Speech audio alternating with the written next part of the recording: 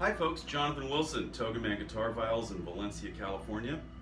Many of you have been voting on the uh, FedEx Small Business Grant Contest um, for GuitarViols Incorporated. Thank you so much.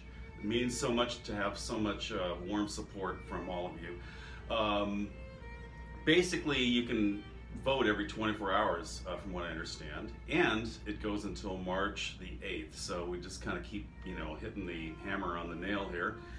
Anyway, appreciate it so much.